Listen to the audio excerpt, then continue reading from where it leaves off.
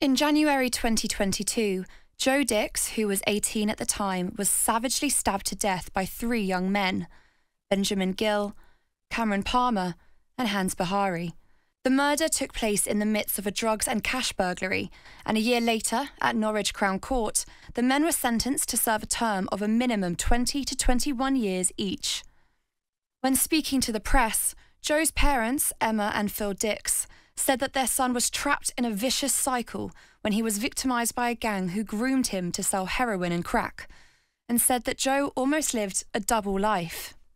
In addition to grieving, we have silently coped with Joe's memorial garden being destroyed and multiple malicious communications via social media. Justice may have been served, however, there are no winners from knife crime. We will never get Joe back. The ripple effects from Joe's murder is huge not only impacting on our family and friends, but everyone who knew Joe along the in the local community. A year later, in a revenge attack against the gang Only the Money who had murdered Joe, Alfie Hammett, also aged 18, shocked shoppers after he brutally attacked Raymond James Quigley, known as James, with fatal consequences in broad daylight. Hammett was jailed for 24 years last week. Accomplice Joshua Howell, who was 17 at the time of the murder, received 20 years. Following the tragic loss of young lives, Chief Constable Paul Sanford made a direct message to the public in an effort to reassure the local community. I'm recording this message today because I'm very aware of the concern that exists throughout Norwich about the recent homicide and other knife related incidents that have occurred in recent weeks. I want to reassure you all that this is number, the number one priority for our force and all available spare resources are being directed to these problems to bring offenders to justice. I also want to say that these are not random attacks. The risk of being victim of a violent crime if you're not part of these groups remains incredibly low. All of that being said, these are serious crimes and we are absolutely committed to solving them and bringing the offenders to justice. Thank you. Since James Quigley's murder, Joe's parents, Emma and Phil, have described how Alfie Hammett often sent sympathetic messages, such as thinking of you, without realising he was a fellow gang member. They have shared their sadness that yet more parents will now have to go through the painful grief that they can so sadly relate to.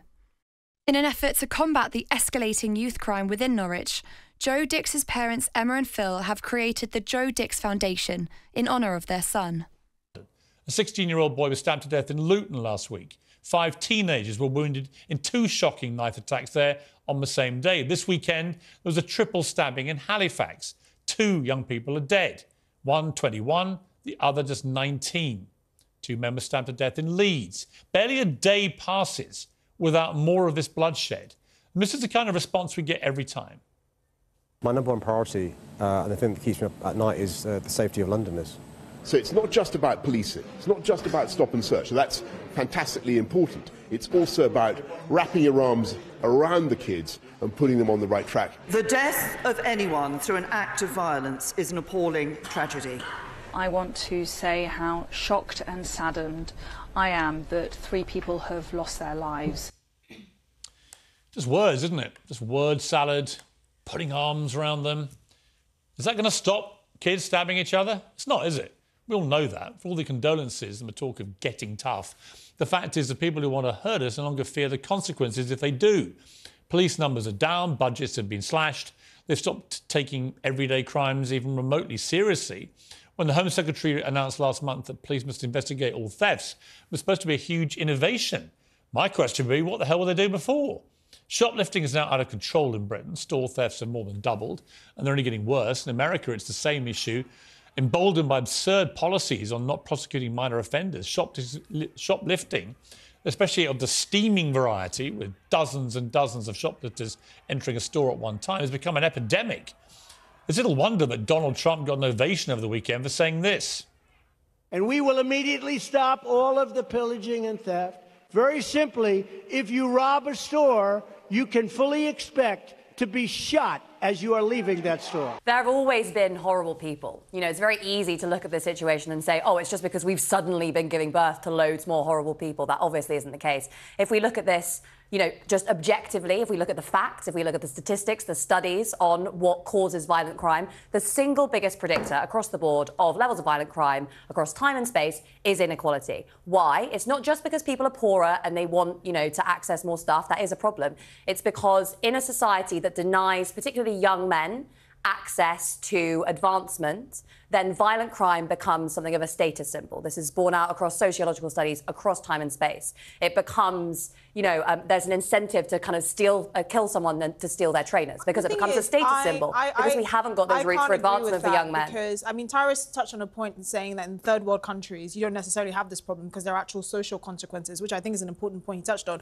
When I was a kid growing up in Ghana, if you stole something in our neighborhood, doesn't matter who who finds out, whether it's your neighbor or someone else. Once your your family gets to know, there will be consequences consequences. Yeah. Sometimes your neighbor might discipline you. The issue here is a breakdown of legal and social consequences, and that's what we're missing. I agree, there has, actually. To be, there, there has to be ostracization and actual social consequences for stealing, but there also has to be legal penalties, real ones that I agree. terrifying. I, I mean, I, have got to say, I've come round. I mean, uh, Tara's talked about third world countries. You look at someone like Singapore or Hong Kong.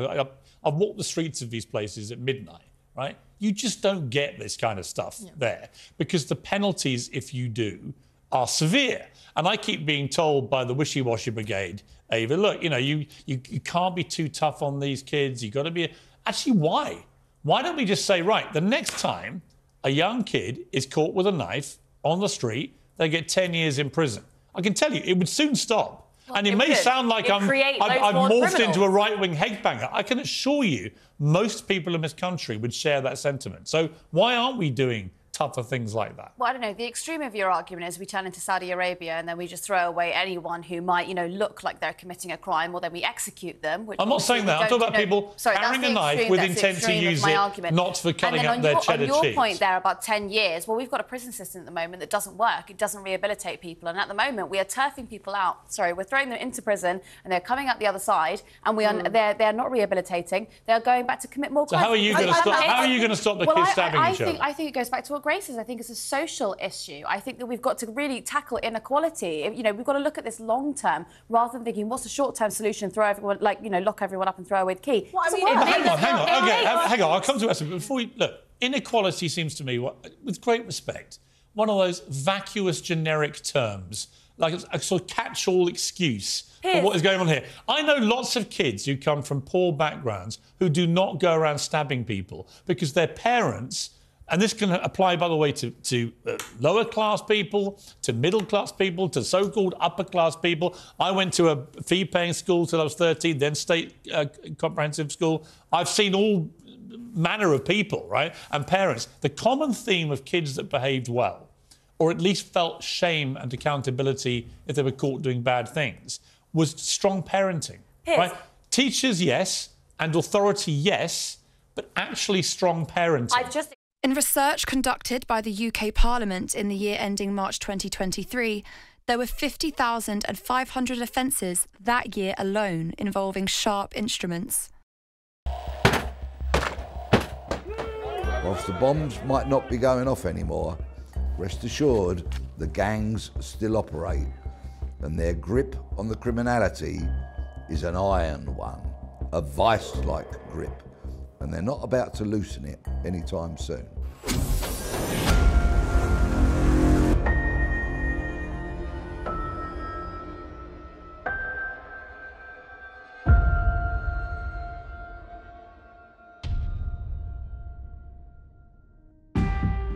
My name is Peter Bleksley.